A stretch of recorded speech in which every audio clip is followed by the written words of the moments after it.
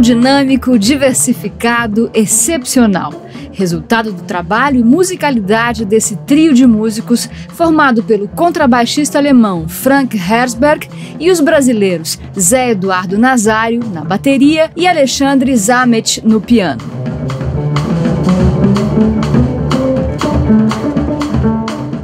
E agora nós vamos tocar uh, uma série uh, tipo no, no, disco tem quatro músicas que chama Suite for Jazz Trio. E isto eu dediquei para minha esposa que graças a Deus está viva e aqui. Ela na verdade tipo ficou já meio preocupada, mas eu acho que não. Então, uh, e essa música é baseada no blues. Eu gosto muito de blues. E quando eu comecei a escrever, eu escrevi tipo um, um contraponto, uma coisa super 12-tone music.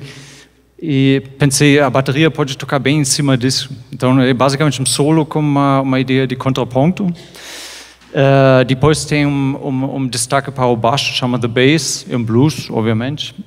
Depois, The Piano, é um blues, mas é bem reharmonizado. E no fim chama eh, a última música The Trio, onde nós tocamos nós três. Então.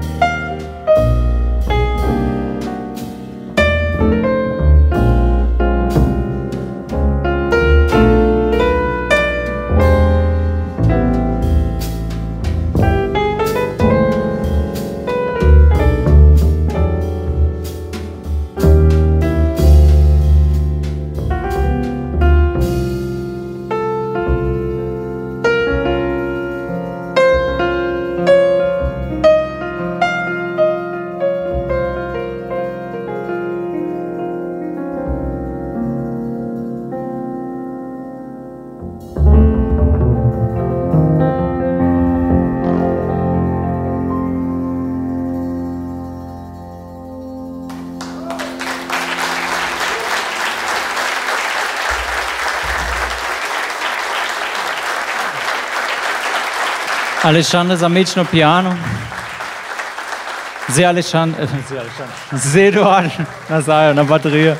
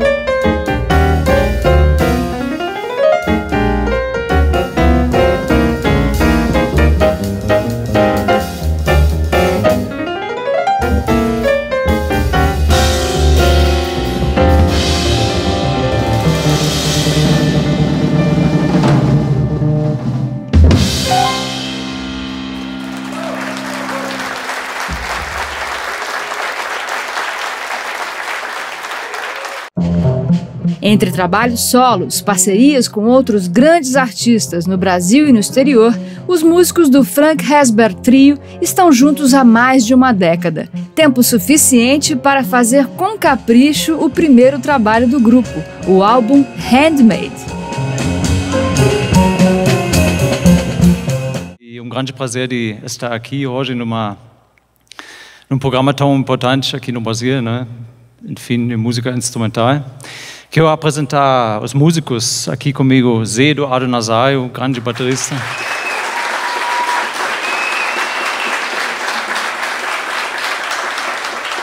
No piano, Alexandre Zamit. E nós vamos tocar uma música do uh, Zé Eduardo, um baião, chama A Shepa.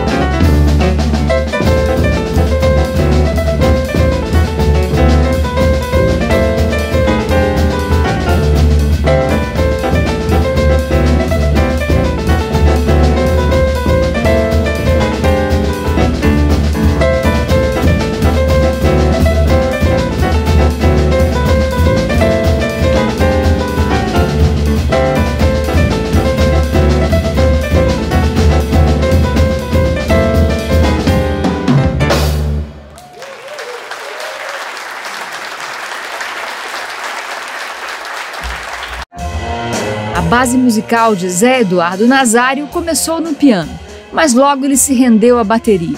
Já o pianista Alexandre Zamet fez da formação clássica um diferencial na hora dos improvisos, enquanto o baixista alemão Frank Hesberg chega com a formação acadêmica em jazz adquirida em Berkeley, uma das principais escolas de música nos Estados Unidos, de onde trouxe muitas influências.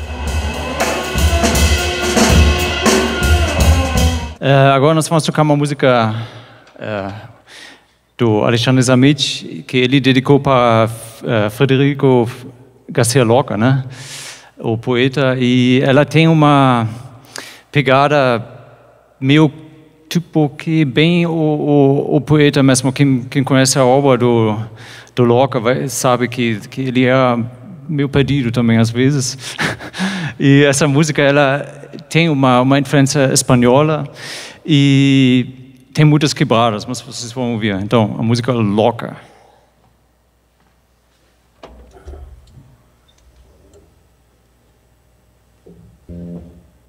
Thank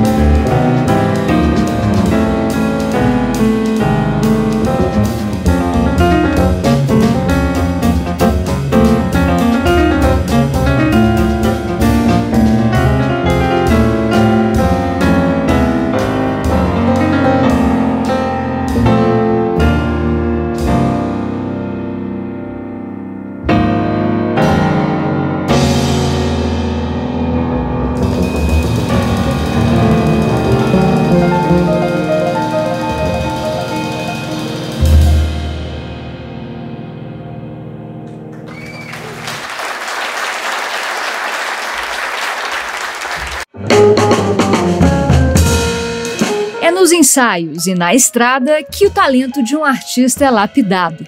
Com os músicos do Frank Hesberg Trio, não foi diferente.